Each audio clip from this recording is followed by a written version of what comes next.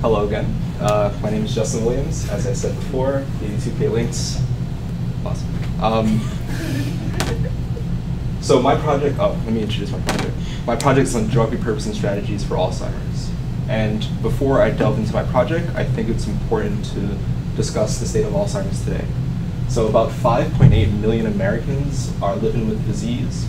Uh, between them, the only known risk factor is age, with patients who are with people 65 years or older being the particular uh, risk group of that age group. Um, symptoms include loss of short-term memory, uh, behavioral disorders such as wandering, yelling, agitation, poor judgment, and loss of cognitive ability and function. Uh, current treatments are mostly supportive with nursing home aides and other people, uh, family members mostly being the support group for the patient there are things called cholinesterase inhibitors, which only moderately improve cognitive ability and memory function. Uh, to this end, my goal in this project is to use computational tools to develop and discover, well, to discover new potential agents to, for the treatment of Alzheimer's.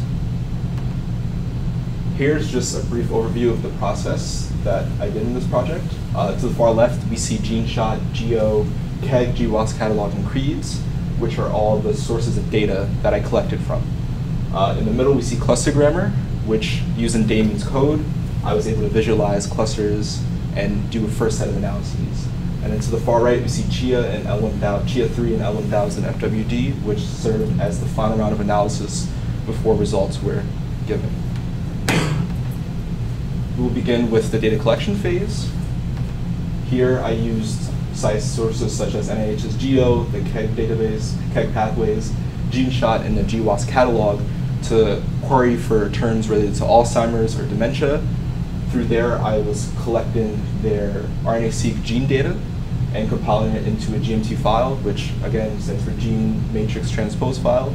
This was chosen because this file format allows for ease of data integration between vast amounts of, of different sources and genes.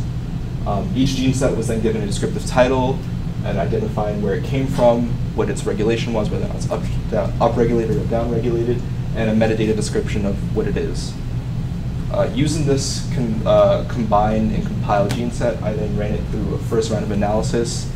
Uh, for example, I used Damon's latent space code autoencoder and then visualized in clustergrammer the similarity between the gene sets within this GMT file.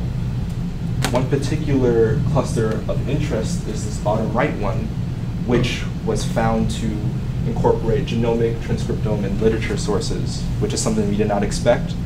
And so it became our primary cluster and gene set of focus. Using this cluster, I then compiled the gene sets that were found into a separate GMT file, and then ran them through a code I developed to find consensus genes between those gene files. We ran three consensus, uh, three consensus gene set and compiled a singular gene set of those consensus genes. With those consensus genes, I then ran them through ChEA3 and L1000 FWD. We'll begin with the analysis of L1000 FWD. Here, I ran the up and down genes given from that consensus into the database, and it returned either mimicking drugs or reversing drugs. Uh, by mimicking and reversing, I refer to the drugs that either mimic the signature of the gene set or reverse the signature of the gene set. Um, in the red here, we see dexamethasone, which is a glucocorticoid receptor agonist, and it is found to mimic the signature of the gene of the consensus gene set. Uh, this was of interest to us because there is a hypothesis that cortisol and other glucocorticoids may contribute to the progression of Alzheimer's disease. In the bottom, we see this blue arrow pointing to this Broad K330459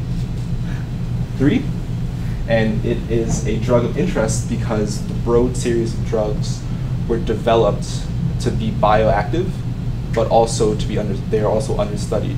So this may potentially lead to a pathway for the development of novel agents or, if anything, for, for study towards a more concise novel agent development. Here we see a list of the similar and opposite are the mimicin and reversin gene drugs. We see here dexamethasone as one of the top ones, and we see here uh, as another top agent and drug. Uh, it, is, it in itself is also a glucocorticoid receptor agonist and was of interest, again, for that reason. Up to the right here, we see the Broad K333054993, as well as another series, Broad K51556-300. Again, also of interest for the fact they're bioactive and understudied and could lead to more novel agents being developed. We then turn to uh, my ChEA-3 analysis, which again releases, uh, gives a set of, a ranked set of transcription factors uh, for analysis. One of the transcription factor of interest that I found was this SCRT1. And the SCRT1 stands for a scratch family protein, a scratch family transcription factor. And it was of interest to us because SCRT1 was found to be understudied with only five publications of PubMed within the last 16 years, I believe. And also because it is exclusively found within the cerebral cortex, the brain, the hippocampus, cerebrum, and the caudate. Um, the cerebral cortex and the cerebellum, as well as the hippocampus, are all implicated within Alzheimer's, with the cerebral cortex being implicated in cognitive function and the cerebrum being implicated in motor, uh, in motor dyslexia, motor dyslexia and like other motor issues, and hippocampus, of course, being implicated in memory. Through here, we then ran SCRT1 through ARCHES 4, which turned up a list of potential predicted biological functions, processes, and predicted mouse phenotypes. Uh, to the left here, we see that SCRT1 was found in synaptic vesicle maturation, regulation of short-term neuronal synaptic plasticity, and um, localization behavior, all of which deal with brain functions related to memory and related to long-term potentiation. To the right, we see predicted mouse phenotypes. Uh, some mouse phenotypes of interest were abnormal behavioral response, abnormal le learning, memory, and coordination, and abnormal synaptic plasticity, again, all related to symptoms found within Alzheimer's, such as abnormal memory, abnormal cognitive function, and abnormal like habituation and memory development. Uh, to this end, we found that my project, we found three particular conclusions of interest. SCRT1 is an understudied transcription factor with further study may lead to new etiologies for Alzheimer's disease. Uh, glucocorticoid receptor agonists are potential class of drugs that may contribute to the progression of Alzheimer's. Again, more research in wet lab, for example, and in mouse models will further conclude this or disprove this.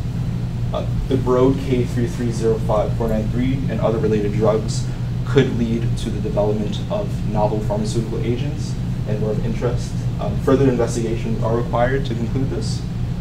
Uh, to this end, I believe collecting more gene sets may improve the accuracy of these results, and testing these agents with Alzheimer's disease models, again, would definitively disprove or prove this hypothesis, this conclusion. Um, I would like to give an acknowledgement to Professor Ma'ayan and to Sherry for oh, she's not here. Uh, Sherry for developing this program and for having us all here, and to the lab for being a continued source of support. So thank you.